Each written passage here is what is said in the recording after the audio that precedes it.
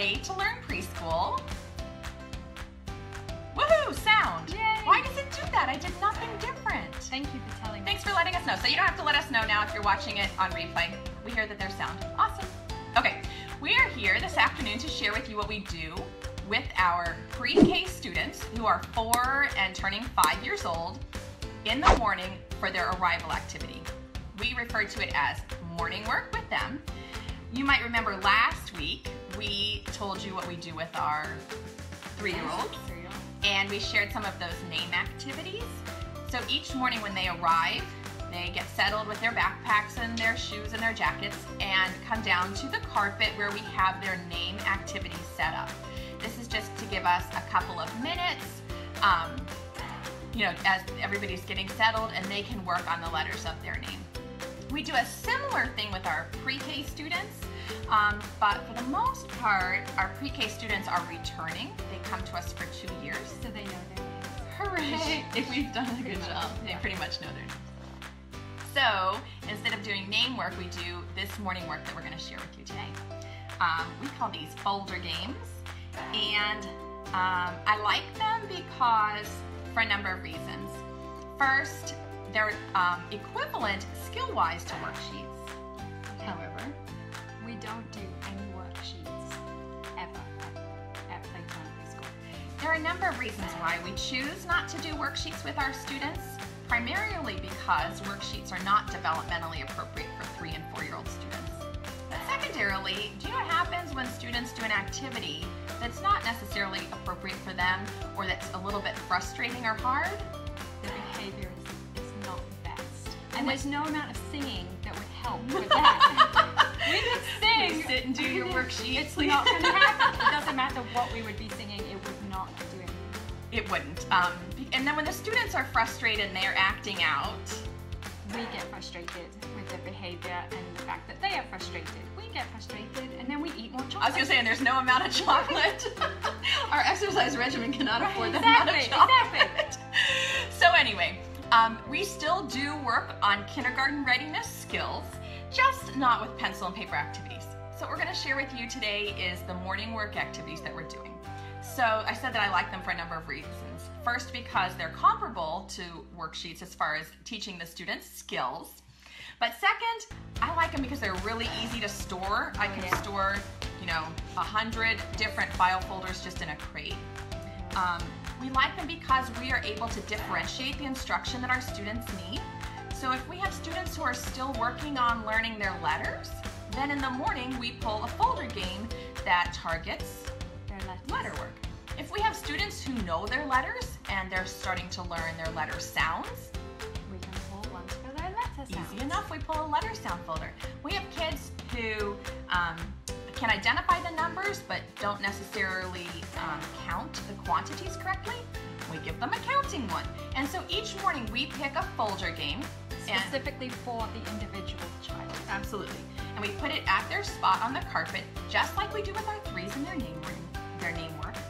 And so as soon as they're done unpacking, then they go down to the carpet and start doing their folder game. So I'm going to show you a couple of examples, and then we'll talk logistically about how we check them and keep track of what they've done. So you want me to start? let's yeah. So the very first month of school, or the first two weeks of school, we gave them all the same morning work. Oh. Our goal was to choose activities, the same skill, um, that they could all do independently with success. Yes. So Jem's going to show you what we had out for them the first couple weeks of school. So we start with visual discrimination. So here's the front of it. It's backwards. I know it's backwards. Jamie has not reprinted everything to face the other way, so we know it is. Okay. It's not backwards for the kids. yeah, it's not backwards for them. It's just for you. Just on the selfie cam. Okay, so this is the front of our um, one of our visual discrimination fold, morning work folders. We have the ran those Ziploc bags through my Xyron machine, so they have permanent adhesive on the back, and we just stick the baggie. And visual discrimination is a matching skill. It's a precursor to being able to identify letters and numbers and reading. And so what they have to do is they look at the inside of the folder, and then they have to find the pictures that match. So my little guy here's got a green jacket on. If it was laying flat, which last time we tried to, everything slid off the table. So we're just gonna hold We're it. learning as we go. Thanks for your so- patience with us. So they just match the pictures. And they would go through and match every, um, every little person that we have in here. So um, I should say a long time ago, we've been using the folders a long time ago. 10 years ago. 11 years. we, A long time ago. we What's didn't a do long it the time first ago? year. Those little, they were only three. We, oh, you're right. Okay. So 10 years. Whatever. Jamie's right. Jamie's always right.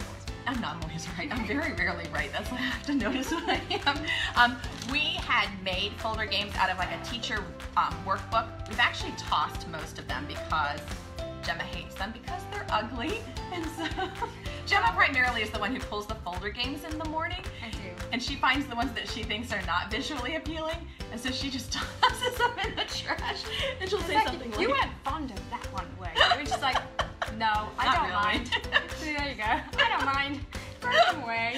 And she'll say, I'm sure you'll make something cuter. I'm sure you'll make something that meets our needs. But we do have a handful that are from like an old teacher resource book. Um, so And they're still okay. they're still us. okay. So like this one, they have to find the things that go together.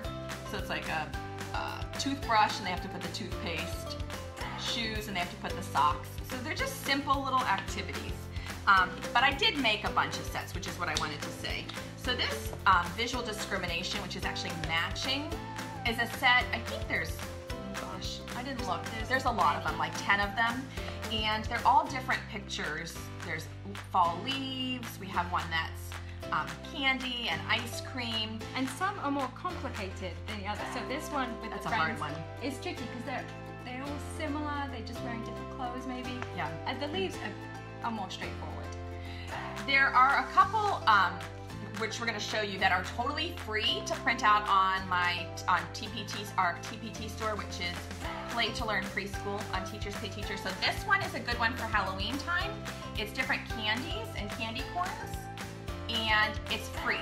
So if you go to Play to Learn Preschool on Teachers Pay Teachers, I'll drop the link up at the top when we're done.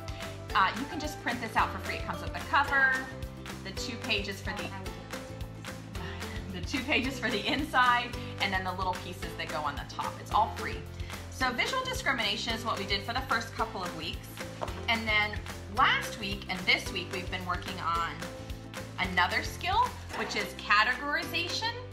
So this is requiring them to think a little bit, maybe more so than the visual discrimination.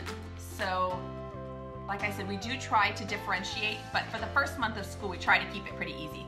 So these categorization ones um, look like this, what goes together. And this one, for example, they have to look at each row, and there's a line there, I don't know if you can see it, and figure out which thing does not belong. So red apple, red ladybug, red fire hydrant, green frog. Which thing does not belong? And then they take one of these You can use anything. you could use anything. Um, we're using poker chips. we don't play poker, but we got a bunch of chips. We'll call them we'll call them counting chips, counters, and they just mark which thing doesn't belong.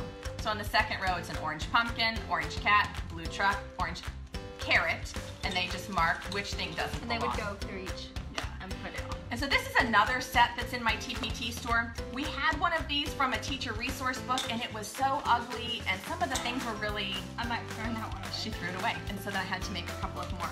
Um, but we have what goes together with colors. These are vehicles, like which vehicle belongs together. It's a blimp, a helicopter, a shopping cart, and an airplane. Which one doesn't belong? Um, of course, it's a shopping cart because it's not transportation really. Um, a bike, a scooter, a skateboard, and skis. And the skis because of no wheels. Do you want to tell the next one? Okay. I was just gonna say when when they're telling us about this, you need to have them really speak to you. That's the whole point. So you want them to be able to tell you why they have chosen the item that they've chosen. Um, it's sometimes very one. interesting. This one we find really this, interesting. this middle one. Go for it. So we have a school bus, a dump truck, Bulldozer. and a cement truck. So we, when Jamie did this, you thought it would be the school bus Right. that they would choose. Um, and I agreed. I was like, yeah, that would be Definitely, That would be not the right construction. thing. Yes. Yep. That's not what they've been telling us. Every single kid picks this bulldozer because it doesn't have wheels. But as long as they can tell us their reasoning behind it, That's fine. Fine. Since we're Makes perfect sense. That makes sense. So categorization is another good one. Um, like I said, I think there's eight in the set on my TPT store. This one is animals. So which animals don't go together? Giraffe, elephant, zebra, seahorse, and they just pick the one and mark it. So categorization. And then after we've kind of taught them the routine of how to take the pieces out, do their morning work, and we check it, then um, we really start to differentiate. So we're gonna show you a couple of the ones. We'll tell you how we check it in a minute, yeah. Um, so we'll just show you a couple of other options and then I'll talk to you about how we manage it and keep track of which ones they've done. So this is a good one Gemma's gonna show you. It's a font sort. Oh, sorry. Ooh. And I need my I need some glasses. I can't see it. and font sorts are really good for students who are just learning their letters because they don't actually have to know the letter to be able to sort it. And if you print this one out from my TPT store, I've changed it a little bit since I first did it to reduce the ink. So yours won't have the blue background, just save some ink. But what they do is look at the letters and they have to decide is it a capital A or a lowercase a and just sort them. Super simple, but it's really good for them to be able to notice the difference. The capital has straight lines and a point, and the lowercase a has, um, you know, the circle and the line. So they just sort the pictures on here. Capital, lower, capital, lower. Easy enough.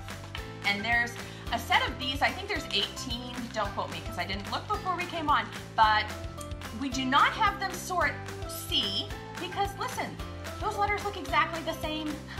We do not have them sort O, X, W, Z. There's a few that it's so silly. There's no way they can tell, you know, other than sort of comparing, oh, that one's only two thirds the size of the other one. Uh, yeah, I can't remember. But anyway, we try to make it so that they can be successful. Here's a couple of others that we do. These that I'm going to show you are all free from um, my Teachers Pay Teachers store. So hop on after you're done watching the video and print them off. You can use them with your students. This one is a number matching game.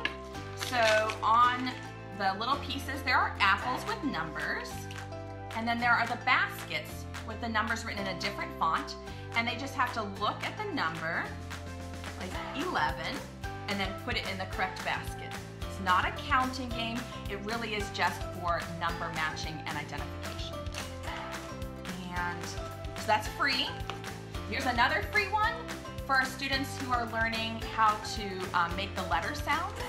This is an initial consonant sort. So it's let words that start with M and words that start with P. And it's just a mat on the inside.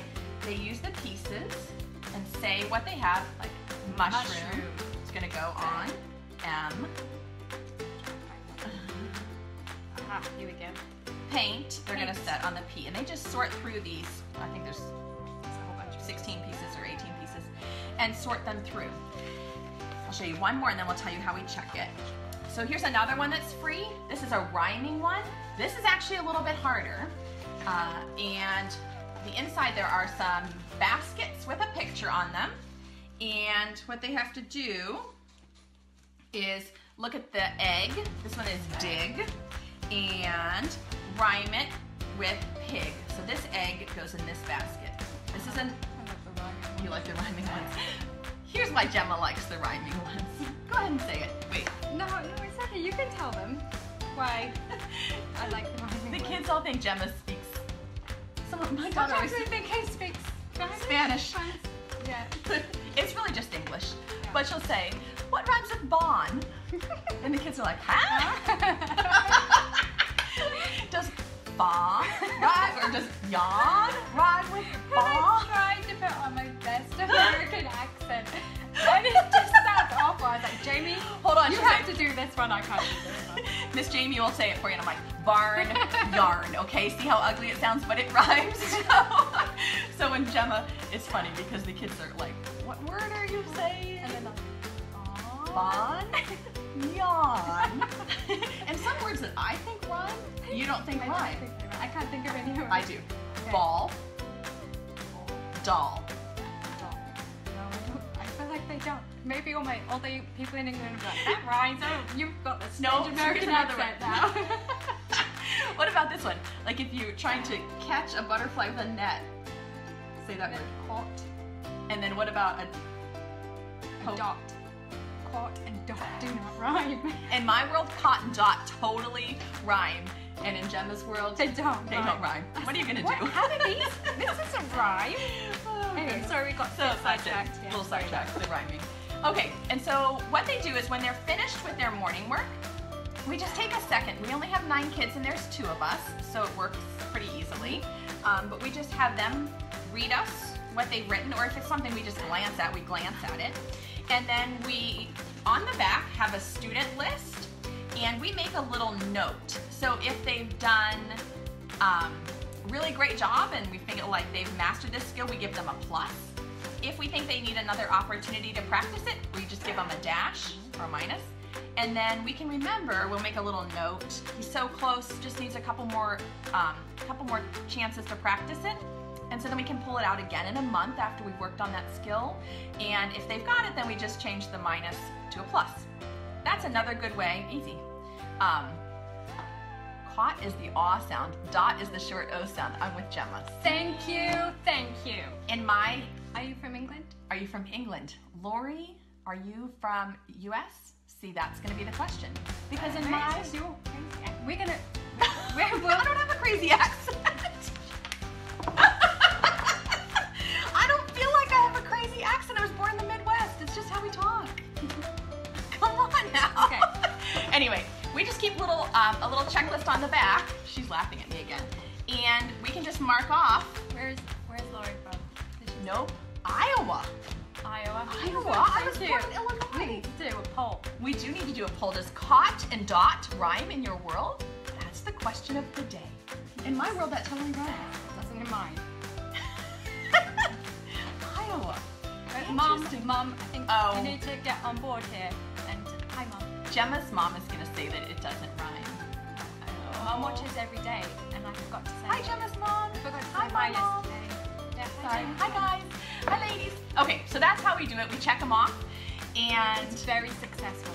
it's really quick too. Um, they probably, you know, it's like another five minutes. Ten. And something that, that I find when I put them out, because I put them out in the morning before they come, if I remember that the day before they've struggled and it's been tricky for them, then I give them one that I know that they're going to be successful with so that it boosts their confidence up. We don't want to make this an exercise of them being frustrated that they can't do this because we're trying to Yeah. get them to be able to be successful at school. So this, give them something that you think they're going to do great with, it boosts their confidence, and then maybe try something a little bit harder the next day. Good advice. That's advice. Okay, so that's what we have for our pre-K morning work. If you have any questions, we'll be back on. See, now look, Carrie says they rhyme, Kirsten says they don't. We're gonna interesting subject. we're gonna do a little statistics on this. Jem will probably make a chart tallies to see who the winner is. Um, we, I don't know what I was saying. I don't know either. Anyone? I'm all like root for Jamie. Cot dot. Listen, people, it sounds the same to me. Cot dot. We'll have to have a whole. we'll have a whole segment of what we think. What about barn and yarn? Now that definitely rhymes. rhymes. On and yarn. On and on. My other one is the names. The- Aaron and Aaron. oh, so here's another one. So, my, so we have a boy, a student, and his name is Aaron. which in my world is pronounced exactly the same as the girl name, Aaron. Aaron, Aaron. I would say Aaron and Aaron. To me, that sounds the same. And so She doesn't hear it. She doesn't hear the difference. It's like, how can you not? I it? it's do an E hear and an it. A. It's Aaron and Aaron. I think I hear it when you say it, but I can't reproduce those sounds out of my mouth. It still sounds like Aaron and Aaron. This is how our uh, this is how our days go. This is how we keep ourselves We've been together occupied. for 10, 11 years, and we 12. still having these conversations like, how can you not hear the sound? What is, why can't you hear this? Why did you call him Aaron when his name is Aaron? Aaron. it's the same name. Anyway. Oh gosh. Anyway, you can chime in on Aaron and Aaron too. Yeah. Must be a Midwest thing. From Minnesota. Does, so Jenny, my question is, you're from the Midwest. Do pot and dot rhyme in your world in Minnesota? And and do some morning work. yeah, this is the most important thing. Do morning work. Look on Jamie's TPT site because Print the free ones. Right. There's a ton of Yeah. free ones on there. So and they're really easy to store. The kids are gonna love them because they're so, they're so shiny. and vote for Cotton Dot. and Aaron and Aaron, it's the same. no, we're gonna have a segment. We've decided on Fridays. Fun Fridays, and This one week. of our things is going to be why you should have American friend. Why you need life. a British friend Yes. and how to understand your British friend. It'll be like a or translation American guide. friend. And this is going to be quite, Friday. quite an interesting discussion. I think we're going to have. Tomorrow, if you're still hanging in with us, you're the best. we are going to share with you how we teach the students to greet us in the morning. Oh, you, you'll like this. You'll like this one. And there are some students who um, maybe struggle with language or shyness, or maybe you're even, you know, um, for students we've had in the past who are maybe a little on the spectrum or have language delays. And so this is a uh, technique that we use with them, and we want to share with you tomorrow. So that's all. We'll you be- guys are awesome. be calmed. We. Promise. We always say we're going to be calm, and then you say something like Aaron and Aaron, and I say, what? Anyway, I think I think we're Have fun Bye. playing and learning with your kids today. See you tomorrow. Bye. Bye bye.